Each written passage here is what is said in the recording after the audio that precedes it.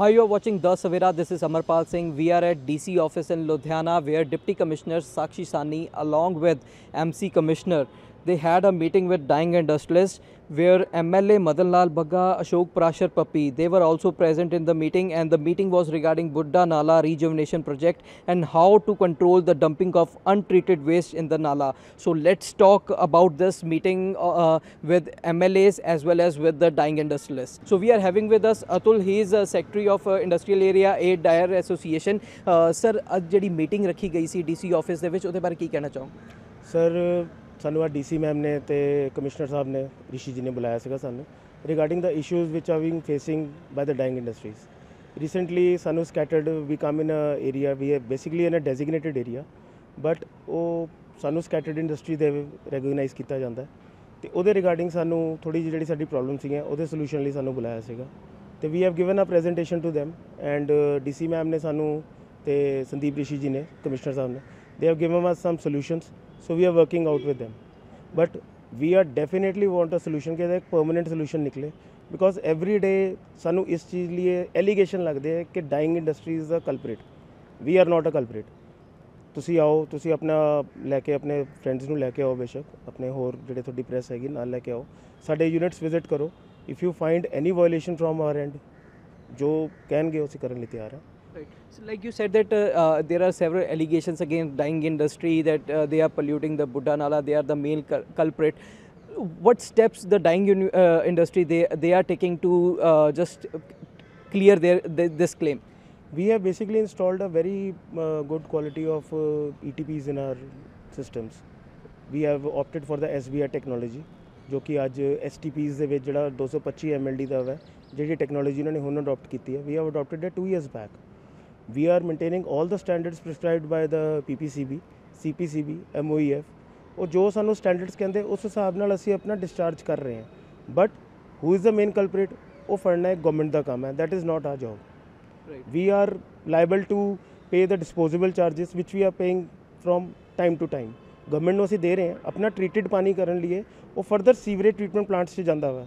So how are we culprit there is something else which is not working with the system ਉਹਨੂੰ way ਫੜਨਗੇ ਤਾਂ matter solve ਹੋ ਜਾਏਗਾ ਕੋਈ ਪਾਣੀ ਨੂੰ ਸਾਫ਼ ਕਰਨਾ is not a very difficult job for us in 1996, uh, this drive was uh, Satluj Action Front was started to clean Buddha Nala, and uh, till now thousands of crores have been spent to uh, on cleaning Buddha Nala. Thousands of crores it has been dumped in the Nala, if, if, we say, because at present also the Nala is still at the same position which was earlier.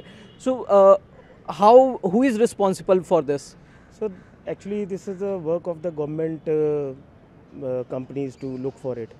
हमें तो एक consent मिली हुई है कि sir आपने इस consent पे काम करना है।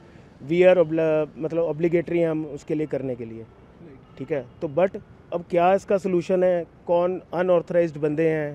देखो there are several industries there are several micro industries which are not in the view of the corporation और maybe the P P C B once the culprits are in hand uh, so this solution can be worked out So it is it is government who has to find the main culprit.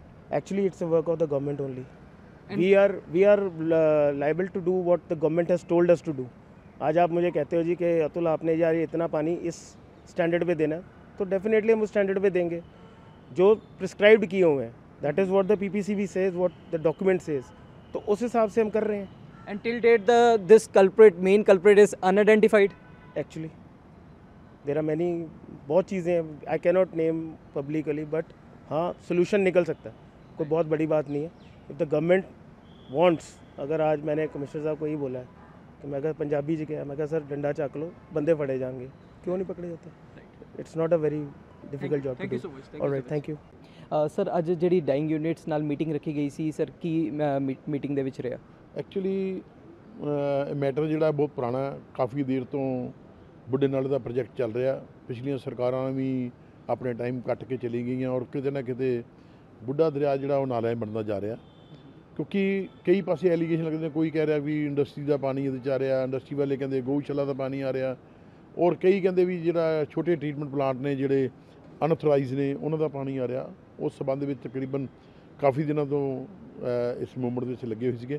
ਸਾਡੀ ਕੱਲ ਵਿਧਾਨ ਸਭਾ ਦੀ meeting ਸੀ ਇਸ meeting ਦੇ ਵਿੱਚ ਬਹੁਤ ਵੱਡਾ agenda ਸੀ ਔਰ ਕਾਫੀ ਵੱਡੇ ਘਰਾਣੇ ਵੀ ਉਹਦੇ ਚ ਮੀਟਿੰਗ ਚ ਆਏ ਸੀ। ਔਰ ਅੱਜ ਤਕਰੀਬਨ ਮੈਂ ਮੈਡਮ ਡੀਸੀ ਨਾਲ ਬੈਠ ਕੇ ਅਸੀਂ ਮੈਂ ਔਰ ਪ੍ਰੈਸ਼ਰ ਸਾਹਿਬ ਨੇ ਮੀਟਿੰਗ ਕਰਵਾਈ ਹੈ ਜਿਸ ਦੇ ਵਿੱਚ ਆਪਾਂ ਇਹ ਕਹਿ ਸਕਦੇ ਹਾਂ ਕਿ ਇੰਡਸਟਰੀ ਵਾਲੇ ਜਿੰਨੀ ਡਾਈਂਗ ਇੰਡਸਟਰੀ ਹੈ ਉਹ ਸਾਨੂੰ ਸਾਥ ਦੇਣ ਨੂੰ ਤਿਆਰ ਹੈ। ਉਹਨਾਂ ਦੇ ਸੈਂਪਲਿੰਗ ਜੋ ਪਹਿਲੇ ਵੀ ਕਰਦੇ ਆ ਦੁਬਾਰਾ ਤੋਂ ਵੀ ਚੈੱਕ ਕਰਾਵਾਂਗੇ। ਕਿਤੇ ਨਾ ਕਿਤੇ ਉਹਨਾਂ ਵੱਲ ਇੱਕੋ ਹੀ ਹੁੰਦਾ ਸੀਗਾ ਵੀ ਸਾਨੂੰ ਅ, ਅਣਦੇਖਿਆ ਕੀਤਾ ਜਾਂਦਾ ਹੈ ਪਲੱਸ ਸਾਡੇ ਤੇ ਐਲੀਗੇਸ਼ਨ ਲੱਗਦਾ ਜਿਹੜੇ ਜਦ ਕਿ ਸਾਡੇ ਨੋਰਮਸ ਪੂਰੇ ਨੇ।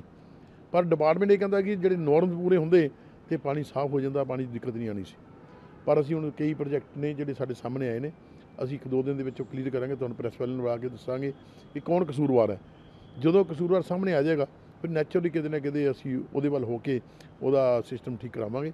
ਕਿਉਂਕਿ ਸ਼ਹਿਰ ਬਹੁਤ ਵੱਡਾ, ਸਾਡਾ ਇੰਡਸਟਰੀ ਸ਼ਹਿਰ ਹੈ, ਜਿੱਥੇ ਇੱਕ ਸੂਬਾ ਆਪਾਂ ਕਹਿ ਸਕਦੇ ਹਾਂ, ਕਿਸਾਨੀ ਸੂਬਾ ਉੱਥੇ ਸਾਡਾ ਇੰਡਸਟਰੀ ਸੂਬਾ। ਅਸੀਂ ਇੰਡਸਟਰੀ ਨੂੰ ਖਰਾਬ ਨਹੀਂ ਕਰਨਾ ਚਾਹੁੰਦੇ। ਔਰ ਜਿੱਥੇ ਇਹ ਪਾਣੀ ਨੂੰ ਦੇਖੀਏ ਪੋਲੂਟਡ ਪਾਣੀ ਨੂੰ ਘਰ ਘਰ ਦੇ ਵੀ ਕਾਲਾ ਪੀ ਲਿਆ, ਵਰਗੀਆਂ ਬਿਮਾਰੀਆਂ, ਪੇਟ ਦੀਆਂ ਬਿਮਾਰੀਆਂ ਨਾਮਰੋਦ ਬਿਮਾਰੀ ਸਭ ਤੋਂ ਵੱਡੀ ਕੈਂਸਰ ਹੈ। ਉਹਦੀ ਉਹੋ ਜਿਹੀਆਂ ਬਿਮਾਰੀਆਂ ਜਿਹੜੀਆਂ ਅੱਜ ਦਸਤਕ ਦੇ ਰਹੀਆਂ, ਉਹਨੂੰ ਰੋਕਣ ਵਾਸਤੇ ਸਾਨੂੰ ਕਦਮ ਚੱਕਣੇ ਪੈਣਗੇ। ਅਸੀਂ ਅੱਜ ਰਿਕੁਐਸਟ ਕੀਤੀ ਹੈ ਸਾਰੇ ਇੰਡਸਟਰੀ ਦੇ ਲੋਕਾਂ ਨਾਲ, ਇੱਥੇ ਤਿੰਨ ਚਾਰ ਐਸੋਸੀਏਸ਼ਨ ਹੈ ਜਿਹਨੇ, ਉਹ ਤਿੰਨਾਂ ਚਾਰਾਂ ਐਸੋਸੀਏਸ਼ਨ ਨੂੰ ਬੁਲਾਇਆ ਸੀ। ਮੈਡਮ ਡੀਸੀ ਸੀਗੇ, ਮੈਂ ਸੀ ਪ੍ਰਾਸ਼ਰ ਸਾਹਿਬ ਸੀਗੇ। ਅਸੀਂ ਬੈਠ ਕੇ ਇਹਨਾਂ ਦਾ ਟੇਬਲ ਤੇ ਬਿਠਾਇਆ ਹੁਣ ਐਗਰੀ ਕਰ ਰਹੇ ਆ ਸਾਡੇ ਨਾਲ ਕਿ ਅਸੀਂ ਸਰਕਾਰ ਨੂੰ ਹੈਲਪ ਕਰਨ ਨੂੰ ਤਿਆਰ ਆ। ਜਿੱਥੇ ਜਿੱਥੇ ਵੀ ਕੋਈ ਦਿੱਕਤ ਆਏਗੀ ਅਸੀਂ ਬਿਲਕੁਲ ਸਰਕਾਰ ਦੇ ਨਾਲ ਖੜ ਕੇ ਜਿਹੜਾ ਤੁਹਾਡਾ ਪ੍ਰੋਜੈਕਟ ਚੱਲ ਰਿਹਾ ਉਹਦੇ ਵਿੱਚ ਸਾਥ ਦੇਵਾਂਗੇ। ਸਰ ਜਿਹੜਾ ਤਰੁਣ ਜਨ ਬਾਵਾ ਨੇ ਪਹਿਲਾਂ ਇਹਦੇ ਤੇ ਆਰੋਪ ਲਾਏ ਨੇ ਕਿ ਜਿਹੜਾ ਸ- ਸਾਢੇ 600 ਕਰੋੜ ਦੀ ਜਿਹੜੀ ਡੀਪੀਆਰ ਬਣੀ ਹੈ ਉਹ ਗਲਤ ਡੀਪੀਆਰ ਬਣੀ ਹੈ ਕਾਂਗਰਸ ਗਵਰਨਮੈਂਟ ਦੇ ਦੌਰਾਨ। ਐਕਚੁਅਲੀ 650 ਕਰੋੜ ਰੁਪਈਆ ਤਾਂ ਸਾਨੂੰ ਵੀ ਸਵਾ ਸਵਾ ਦੋ ਸਾਲ ਹੋ ਗਏ ਆਏ ਨੂੰ। ਸਾਨੂੰ ਆਪ ਹੀ ਨਹੀਂ ਪਤਾ ਲੱਗਿਆ ਅਜੇ ਤੱਕ ਸਵਾ ਦੋ- ਦੋ ਸੌ- ਅ, ਸ- ਸਾਢੇ 600 ਕਰੋੜ ਰੁਪਏ ਹੈ ਕਿੱਥੇ। ਕਿਤੇ ਨਾ ਕਿਤੇ ਅਣਗਹਿਲੀਆਂ ਅਣਦੇਖੀਆਂ ਕੀਤੀਆਂ ਪਿਛਲੀ ਸਰਕਾਰਾਂ ਵੱਲੋਂ। ਹੁਣ ਅਸੀਂ ਤਕਰੀਬਨ ਕੱਲ ਸਾਡੀ ਵਿਧਾਨ ਸਭਾ ਦੀ ਮੀਟਿੰਗ ਸੀ ਲੋਕਲ ਗਵਰਨਮੈਂਟ ਦੀ, ਉਹਦੇ ਵਿੱਚ ਵੀ ਪ੍ਰੋਜੈਕਟ ਰੱਖਿਆ ਸੀ ਕਿ ਇਹਦੀ ਵਿਜੀਲੈਂਸ ਤੋਂ ਇਨਕੁਆਇਰੀ ਕਰਾਓ ਘੱਟ ਤੋਂ ਘੱਟ। ਪਤਾ ਲੱਗੇ ਵੀ ਇਹ ਹੋਇਆ ਕੀ, ਕੀਤਾ ਕੀ ਇਹਨਾਂ ਨੇ? ਸਾਢੇ 600 ਕਰੋੜ ਰੁਪਏ ਟੂ ਮੱਚ ਕਿਉਂਕਿ ਅਸੀਂ ਵੀ ਦਰਿਆ ਦੇ ਕਿਨਾਰੇ ਤੇ ਰਹਿੰਦੇ ਆ ਅਸੀਂ ਵੀ ਕਦੀ ਦਰਿਆ ਤੇ ਇੱਟ ਲੱਗਦੀ ਨਹੀਂ ਦੇਖੀ। ਉਹ ਡੇਢ ਦੋ ਸਾਲ ਦੇ ਵਿੱਚ ਜਿੰਨਾ ਅਸੀਂ ਡਿਵੈਲਪਮੈਂਟ ਕੀਤੀ ਹੈ, ਅਸੀਂ ਕਾਰਪੋਰੇਸ਼ਨ ਦੇ ਨਾਲ ਰਲ ਕੇ ਲੋਕਲ ਗਵਰਨਮੈਂਟ ਸਰਕਾਰ ਲੋਕਲ ਗਵਰਨਮੈਂਟ ਨੂੰ ਨਾਲ ਲੈ ਕੇ ਅਸੀਂ ਜਿਹੜੇ ਕੰਮ ਚਲਾਏ ਨੇ, ਆਪਣੇ ਤੁਰ ਤੇ ਚਲਾਏ ਨੇ 650 ਕਰੋੜ ਦਾ ਪ੍ਰੋਜੈਕਟ ਸਾਨੂੰ ਆਪ ਹੀ ਨਹੀਂ ਪਤਾ ਲੱਗਿਆ ਕਿ ਉਹਦੇ ਵਿੱਚ ਕੀ ਹੋਇਆ, ਕਿੱਥੇ ਇਹਨਾਂ ਨੇ ਉਹਦੇ ਵਿੱਚ ਯੋਗਦਾਨ ਪਾਇਆ। ਉਹ ਆਲਰੇਡੀ ਵਿਧਾਨ ਸਭਾ ਦੀ ਕਮੇਟੀ ਉਹ ਫੈਸਲਾ ਲਏਗੀ। ਔਰ ਕਿਤੇ ਨਾ ਕਿਤੇ ਆਪਾਂ ਤਾਂ ਇਹ ਕਹਿ ਸਕਦੇ ਹਾਂ ਵੀ ਸਾਡੇ ਸ਼ਹਿਰ ਵਾਸੀਆਂ ਨੂੰ ਸਾਡਾ ਸਾਥ ਦੇਣਾ ਚਾਹੀਦਾ ਕਿਉਂਕਿ ਜਦ ਤੱਕ ਲੋਕ ਸਾਥ ਨਹੀਂ ਦੇਣਗੇ, ਕਿਉਂਕਿ ਕਈ ਲੋਕ ਘਰ ਦਾ ਕੂੜਾ ਡੋਮੈਸਟਿਕ ਕੂੜਾ ਚ ਵੀ ਦਰਿਆ ਸੁੱਟ ਦਿੰਦੇ ਨੇ, ਉਹ ਨਾ ਸੁੱਟੋ, ਕਿਉਂਕਿ ਆਉਣ ਵਾਲੇ ਟਾਈਮ 'ਚ ਇਹ ਕੂੜਾ ਸਾਨੂੰ ਆਪ ਨੁਕਸਾਨ ਦੇਗਾ। ਕਿਉਂਕਿ ਇਹ ਦਿਨ ਜਿਹੜੇ ਬਰਸਾਤਾਂ ਦੇ ਦਿਨ ਨੇ, ਮੈਂ ਤੁਹਾਡੇ ਮਾਧਿਅਮ ਤੋਂ ਅਪੀਲ ਵੀ ਕਰੂੰਗਾ, ਬਰਸਾਤਾਂ ਦੇ ਦਿਨਾਂ 'ਚ ਕੂੜੇ ਨੂੰ ਘਰ 'ਚ ਸੰਭਾਲ ਕੇ ਉਸ ਤੋਂ ਬਾਅਦ ਜਦੋਂ ਸਾਡਾ ਸਫ਼ਾਈ ਸੇਵਕ ਸੇਵਕ ਆਉਂਦਾ ਉਹਦੇ ਹਵਾਲੇ ਕਰੋ ਨਾ ਕਿ ਆਪ ਇਕੱਠਾ ਕਰਕੇ ਦਰਿਆ ਸੁੱਟੋ। ਮੇਰੀ ਬੇਨਤੀ ਹੈ ਇਸ ਕਰਕੇ ਇਹ ਫਾਇਦਾ ਲੋਕਾਂ ਵਾਸਤੇ ਹੀ ਹੈ। ਸਰ ਇੱਕ union minister of state for Jal Shakti Rajbhushan Chaudhary ਉਹਨਾਂ ਨੇ ਰਾਜ ਸਭਾ ਦੇ ਵਿੱਚ ਰਿਪਲਾਈ ਫਾਈਲ ਕੀਤਾ ਸੀਗਾ ਇੱਕ ਕੁਐਸਚਨ ਦਾ ਉਹਦੇ ਵਿੱਚ ਉਹਨਾਂ ਨੇ ਸਟੇਟ ਗਵਰਨਮੈਂਟ ਨੂੰ ਬਲੇਮ ਕੀਤਾ for not conducting any study assessment for cancerous nature of Buddha Nala. Actually ਸੰਗਣ ਕੀ ਹੈ। ਮੈਂ ਉਹੀ ਤੁਹਾਨੂੰ ਗੱਲ ਜਿਹੜੀ ਪਿਛਲੀ ਸਰਕਾਰ ਲੰਘੀ ਹੈ ਨਾ ਤੁਸੀਂ ਬੁੱਢੇ ਦਰਿਆ ਤੇ ਚੱਲ ਜਾਓ ਕਿਤੇ ਸਟੇਟ ਦੇ ਸੀਐਮ ਦਾ ਪੱਥਰ ਲੱਗਿਆ ਹੋਇਆ ਕਿਤੇ ਸੈਂਟਰ ਦੇ ਵਜ਼ੀਰ ਦਾ ਪੱਥਰ ਲੱਗਿਆ ਹੋਇਆ, ਪੈਸੇ ਤੇ ਆਣੇ ਅਲੱਗ ਮੈਟਰ ਹੈ, ਲੱਗਣੇ ਅਲੱਗ ਮੈਟਰ ਹੈ, ਪੱਥਰ ਲਾ ਕੇ ਅਧੂਰਾ ਛੱਡਿਆ ਉਸ ਨੂੰ ਇੰਪਲੀਮੈਂਟ ਕੀਤਾ ਹੀ ਨਹੀਂ ਹੈ। ਮੈਂ ਕਹਤਾ ਸਟੇਟ ਦਾ ਕਸੂਰ ਹੈ ਸਟੇਟ ਕਹਿੰਦੀ ਸੈਂਟਰ ਦਾ ਕਸੂਰ ਹੈ। ਮੌਕੇ ਤੇ ਪ੍ਰੈਕਟੀਕਲੀ ਕੌਣ ਕਰ ਰਿਹਾ? ਮੇਰੇ ਕੋਲ ਰੀਚ ਹੈ, ਬੁੱਢੇ ਦਰਿਆ ਦੀ।